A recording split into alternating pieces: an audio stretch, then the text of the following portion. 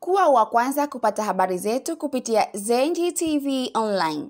Unachotakiwa kufanya ni kugonga neno subscribe, halafu bonyeza alama ya kengele.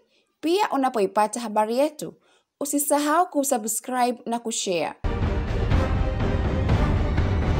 Baraza la Manispaa wilaya mjini Zanzibar limesema mabadiliko ya tozo ya ada ya usafi yaliyofanywa na kampuni ya usafi wa Vigo Clean Limited inayomilikiwa na mfanyabiashara Taufiki Salum Turki yamefanyika kinyume na sheria na kanuni za baraza la mji Zanzibar. Akizungumza na uandishi wa habari ofisini kwake Malindi, mkurugenzi wa baraza hilo Ali Hamis Mohamed amesema baraza limeshtushwa na mabadiliko ya ada kupanda kutoka shilingi laki moja thelathini na tano mpaka laki tano katika migahawa na hoteli bila baraza kushirikishwa na kuanza kwake Julai mwaka huu.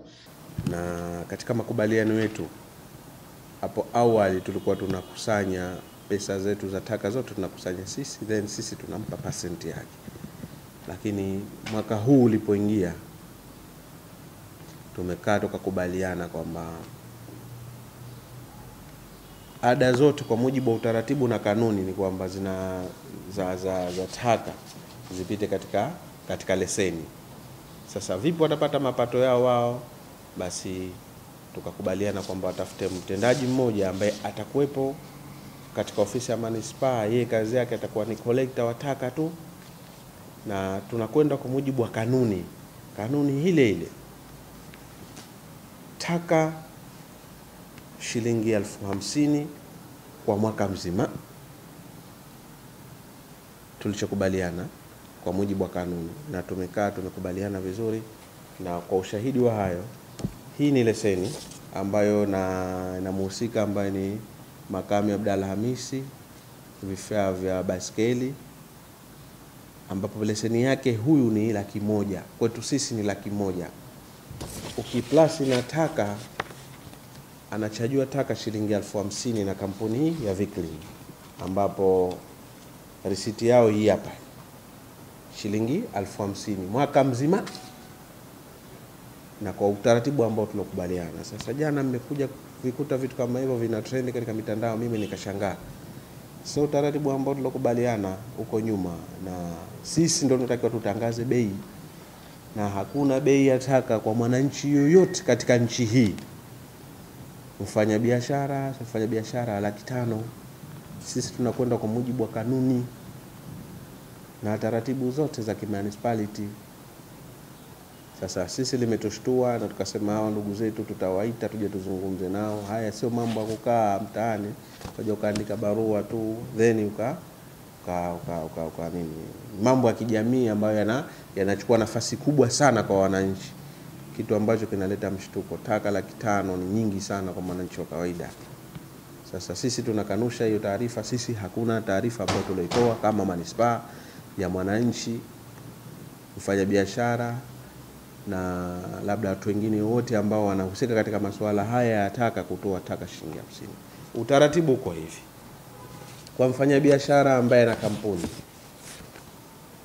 shilingi hamsini ipo kwa mujibu wa kanuni zetu, na hii ndo risiti ya kampuni hiyo ambayo alotuma hilo jina.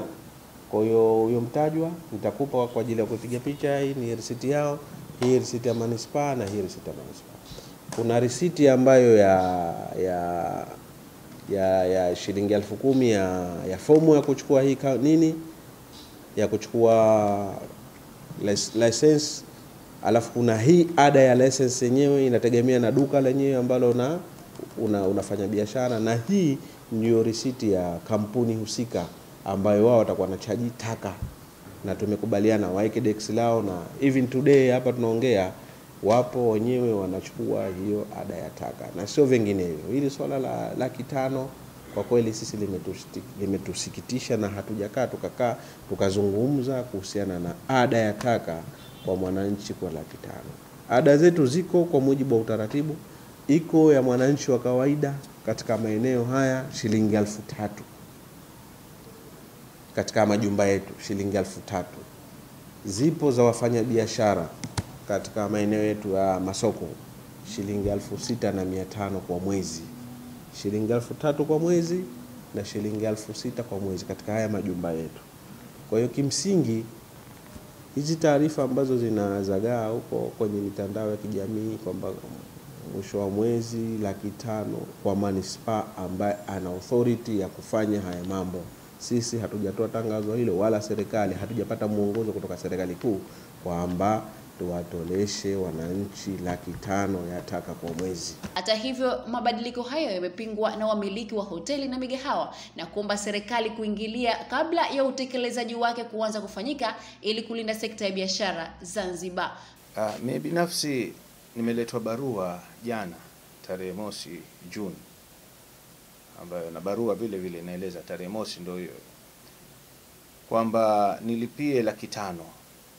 Wakati mimi kwa kipindi chote hicho taka zangu zilikuwa zinachukuliwa na manispaa, nilikuwa nikiwalipa elfu ishirini. Sasa kutoka elfu ishirini mpaka kwenye laki tano imenishtusha na imenitisha kusema la haki, kwa sababu hakukuwa na uwiano kile kipato nachokipata na ile kazi vile vile unaoifanya, kwa sababu mimi taka zangu ni ndoo moja tu.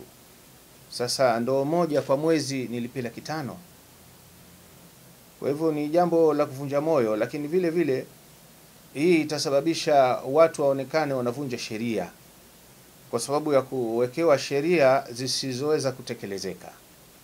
Kwa hivyo hawa wanaotunga mipango hii ya kuwachaji watu, basi lazima kwanza wazingatie watu na uwezo wao wa kile kipato, halafu tena ndo wafikirie kiasi gani huyu tumkadirie alipie, asikurupuke tu mtu akasema laki tano. Na hasara nyingine kwamba watawavunja moyo wale wanaofanya biashara, wanaohangaika, watahisi mazingira magumu ya kufanya biashara. Kwa hivyo italeta athari kubwa sana kwa wananchi ambao wamejiajiri kuona uh, uh, kodi zinakuwa kubwa kama hivi. Tokea hapo tunasikitika kwamba sehemu nyingi za kulipia kodi, wale wanaotoa dhamana waka sign contract ya kutoa kwa kampuni ili wasimamie mji, basi wawe makini sana. Hii si dhamana ya kuchezea, kwa sababu mtu anaweza akachukua pesa nyingi, lakini vile vile akashindwa katika kutekeleza. Kwa hivyo lazima kampuni inayopewa dhamana hii wahakikishe kwamba kwanza wana uwezo, wana vifaa kweli vya kusafisha mji, lakini vile vile wana wataalamu wasiwaumize wananchi.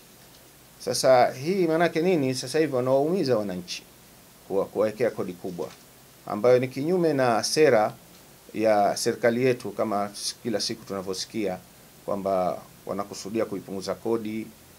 Niliwahi kusikia kuna wakati mpaka wafanyabiashara wengine wa, wasikilizwe uwezo wao wa kulipa kodi, ili mtu alipe kodi kwa ridhaa, kwa sababu watu hawapendi kuvunja sheria kimaumbile. Hasa kila mtu anataka kuwa na amani. Sipendi kila mara kuona mapolisi wanakuja na watu wa ZRB, ukimwona mpaka roho yako inadunda hivi.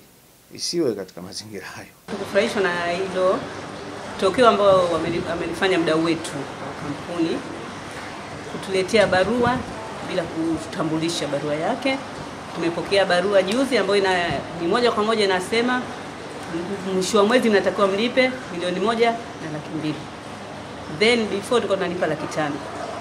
Kwa hiyo sisi tukashtuka baada ya kupokea barua ile, ni kitu gani ambacho kimefanya kutoka kwenye laki tano mpaka milioni moja laki mbili. Taka zetu sisi ni anachukua ni kidambu kiduchu tu, kinaenda ni mara moja, wala haiji mara mbili, ni kimoja tu.